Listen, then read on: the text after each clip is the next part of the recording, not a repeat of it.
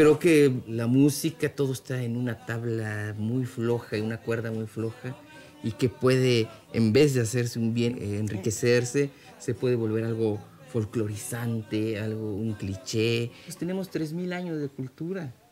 No, no, puede ser que en 100 años, que no es nada, o en 50, que es menos, se esté perdiendo prácticamente todo. No, si no tenemos un conocimiento profundo de lo que somos, de lo que es, de lo que es nuestra música, los instrumentos, que nos caricaturicemos nosotros mismos del indito, del... ¿Cómo nos pudiéramos preservar del esnovismo? Algo que nos, creo que nos han heredado nuestros ancestros es eh, el, un, gusto o una dirección por el conocimiento, por el, por el eh, no estar conformes con ya conozco tres estrellas, no, pues ahora quiero conocer seis.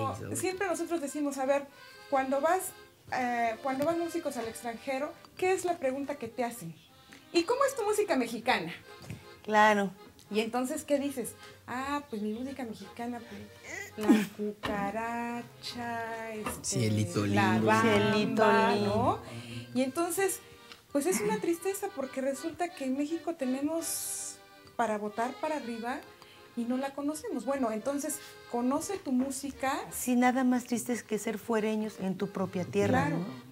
Pero también tenemos nuestra otra vertiente que es como músicos y como artistas. Rubén, por ejemplo, hace composiciones, hace arreglos y sigue siendo música mixteca contemporánea, como le quieras llamar. Hay músicos que están ahorita también componiendo mucho en lengua indígena. Es esa parte donde nosotros como artistas también estamos ya reinterpretando, agregando otra, otros sentidos también a la música, pero con un conocimiento. El banjo llegó a México como parte de las jazz band a principios de la década de 1920. Sus instrumentos, géneros y estilos musicales se pusieron de moda en casi todo el país. Oaxaca y en especial la región mixteca no fue la excepción. En la mixteca se toca el banjo tenor y el banjo mandolina y se ejecutan al estilo del Dixieland. Su función musical puede ser tanto melódica como armónica.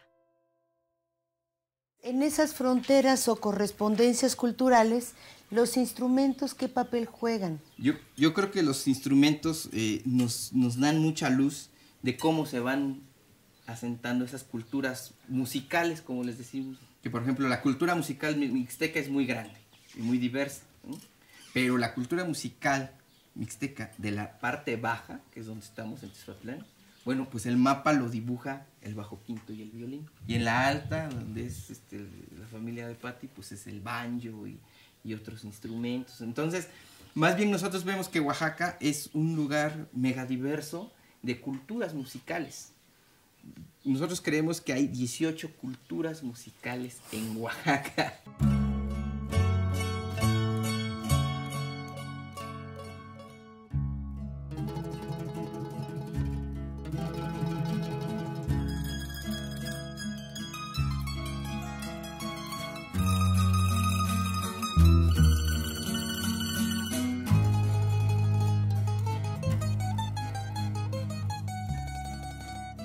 Cuando dejaron de, de, haber bajos aquí en la Mixteca, porque los, lauderos de Coicoyán pues ya no los vendían, pues los músicos se quedaron sin instrumentos, Entonces empezó, provocó que empezara a desaparecer el bajo quinto.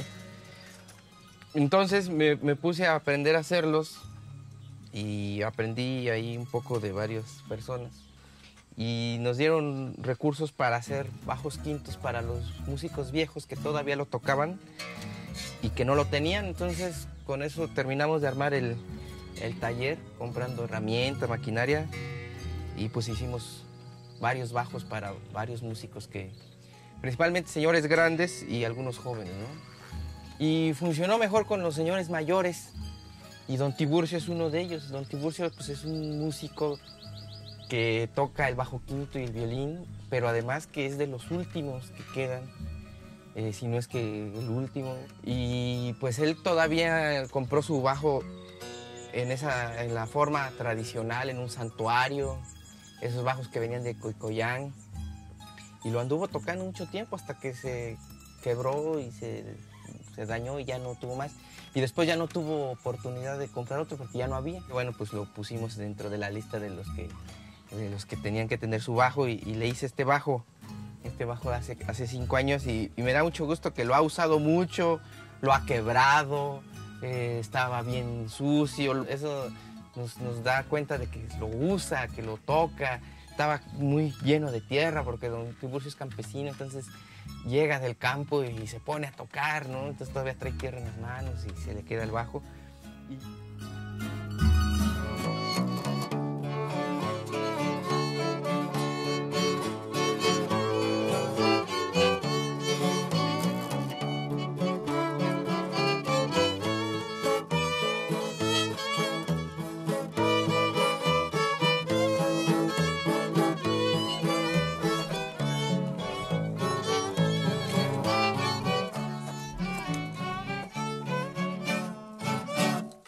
¿Qué le gusta más? ¿La, la canción triste o la alegre? Alegre, también hay triste también. Bonitas. Ah, sí. ¿Como cuál? Ah, ahorita lo enseño y verás usted cómo va. Del tierno Es re mayor. Re mayor, sí. Ahí. ¿Qué edad tenía don Tiburcio cuando empezó a tocar? Como creo que 19 años, creo. 19, sí. Ah, ahí comenzamos con ellos, güey. Él, él toca como hace que ese señor, mi padrino, eches aquí, o si no, traes aquí, la toca y la dice, empieza, la, eh, es muy- y la brinca para arriba, está allá, entonces viene y está tocando, güey. ¿A poco? Sí, es muy... Mi padrino es medio cabrón, no lo vendió. ¿Y antes del conjunto qué música había? Andy, nosotros nomás es mero, mero, mero, primero música aquí, Pura cuerda. puro cuerda. Tocar casamiento, eh, no, no uno, tindú, garzón, por ahí, puro música. Pero ahora hay radio, hay eh, conjunto, hay otro tipo de canción ya toca. Entonces usted casó mucha gente. Así, bastante. Tres, días, duraba la boda. eh, tres días. Estar tocando tres días. Hijo, la madre, ¿Cómo y le baratito. las manos? 200, 300 pesitos de antes, güey. Tres días tocando las manos. Sí, lastimadas. peor es este pobre que toca guitarra, yo como tomo un poquito y chupo un cigarrito y él no, no, lo- no lo gustó tomar. Yo sí tomaba yo y fumaba yo cigarro y guanto yo con violín y él ya está llorando ese con dedo que arde ese que tanto, tanto horas tocamos. Tres ¿eh? días, imagínate. Tres días. Estar tocando tres días. Ajá. Pero ahora ya no, ya no vamos a tocar, ya estamos viejos.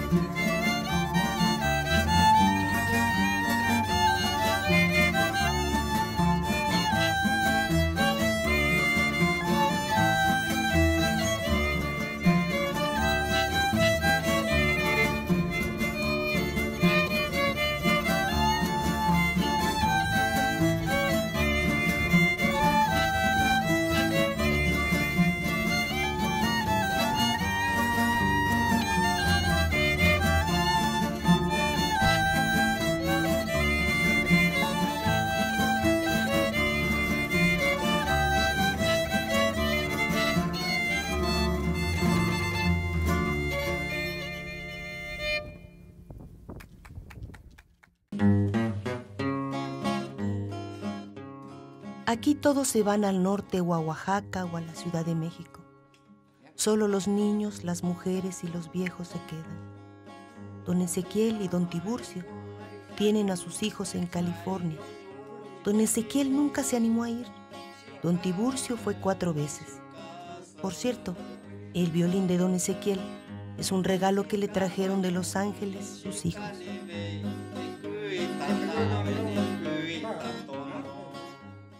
Quiero enseñarte unas, unas músicas de las que ya no se oyen. ¿no? Le vamos a poner un músico, un violinista de los viejos, don, don Juan Chávez. ¿Qué edad tiene? Él tendrá unos 90 años. Esto lo grabamos hace cuatro años más o menos. ¿Vive todavía? Todavía vive, sí, don Juan Chávez.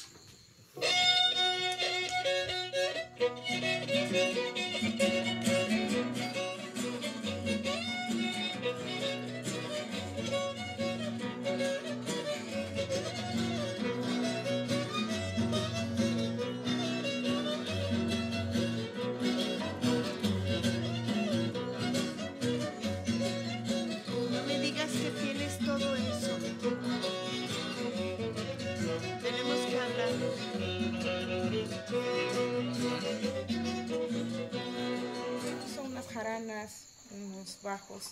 Compramos unos violines baratos para poderlos este, vender eh, y que estuvieran de precio accesible a los músicos mixtecos. Y pusimos el puesto de instrumentos como A ver, ¿qué pasaba? Llegó, llegaron violinistas, llegaron gente que conocía el bajo.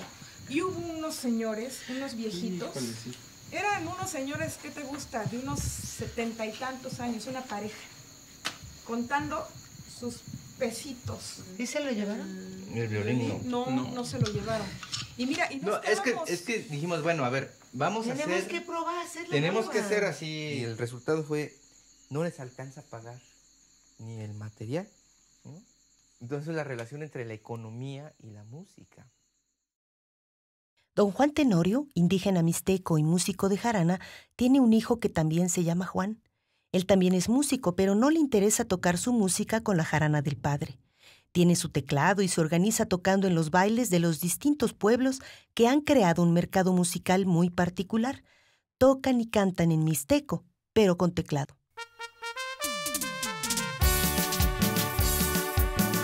Y el saludo es para Leonel Rodríguez en Coicoyán de las Flores, Oaxaca.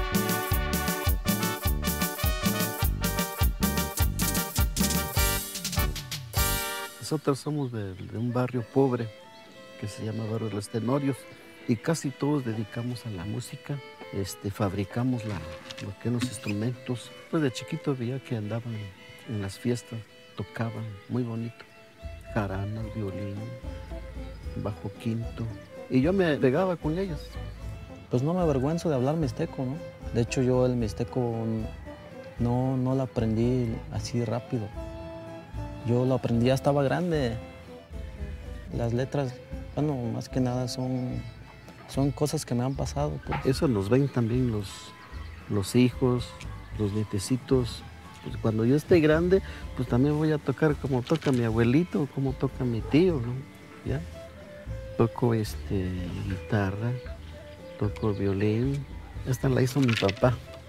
Esta jaranita tiene 15 años y la sigo conservando. Me gusta la música. O sea, no me importa que me esté muriendo de sueño. Les toco.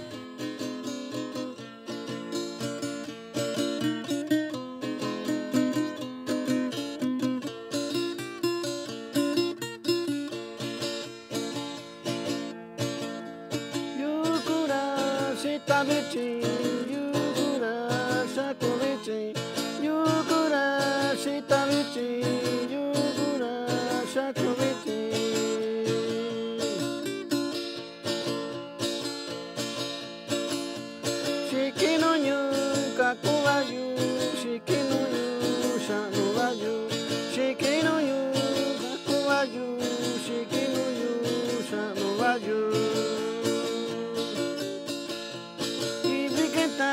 ikwanganyuna dikitanyu shinatanyu ibikata ikwanganyuna dikitanyu shinambayu dichishita yandami nakuniso nanambayu dichishita yandami nakuniso nanamigoi